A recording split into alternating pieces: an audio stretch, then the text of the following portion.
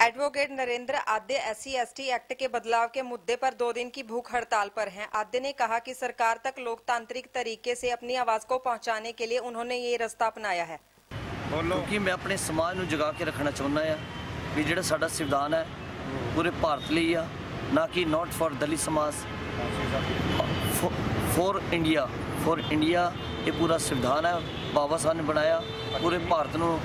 ਸਮਾਜਿਕ ਨਿਆਂ ਦਵਾਇਆ, ਆਰਥਿਕ ਨਿਆਂ ਦਵਾਇਆ ਉਹਦੇ ਵਿੱਚ ਔਰ ਨਾਰੀ ਸ਼ਕਤੀ ਦਾ ਉਹਨਾਂ ਨੇ ਦੇਖਿਆ ਜਿਹੜੀ ਨਾਰੀ ਕੈਦ ਹੁੰਦੀ ਸੀਗੀ ਕਮ ਚਾਰ ਦੀਵਾਰੀ ਵਿੱਚ, ਉਹਨੂੰ ਉਹਨਾਂ ਨੇ ਬਾਹਰ ਕੱਢ ਕੇ ਪ੍ਰਧਾਨ ਮੰਤਰੀ ਦਾ ਰੂਪ ਦਿਖਾਇਆ, ਡਾਕਟਰ ਬਣਨ ਦਾ ਰੂਪ ਦਿੱਤਾ ਆ, ਇੰਜੀਨੀਅਰ ਬਣਨ ਦਾ ਰੂਪ ਦਿੱਤਾ ਆ। ਮੇਰੀ ਸਾਡੀ ਮੰਗ ਹੈ ਵੀ ਸੰਵਿਧਾਨ ਨੂੰ ਛੇੜਛਾੜ ਨਾ ਹੋਵੇ, ਐਸੀ ਐਕਟ ਨੂੰ ਜਿਹੜਾ ਆ ਬਹਾਲ ਕੀਤਾ ਜਾਵੇ ਮਜ਼ਬੂਤੀ ਨਾਲ ਔਰ ਜਿਹੜਾ ਰਾਖਵਾਂਕਰਨ ਜਿਹੜਾ ਸਾਡਾ ਚਾਰ ਰਾਜਾਂ ਵਿੱਚੋਂ ਬੰਦ ਹੋ- ਬੰਦ ਕੀਤਾ ਗਿਆ, ਉਹਨੂੰ ਬਹਾਲ ਕੀਤਾ ਜਾਵੇ ਔਰ ਰਾਖਵੇਂ ਕਰਨਾ ਕੋਈ ਛੇੜਛਾੜ ਨਾ ਹੋਵੇ, ਨਾ ਹੀ ਸੰਵਿਧਾਨ ਨਾਲ ਛੇੜਛਾੜ ਹੋਵੇ।